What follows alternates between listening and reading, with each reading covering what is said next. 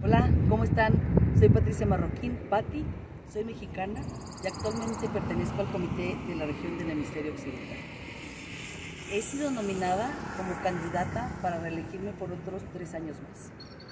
¿Por qué estoy aceptando este reto?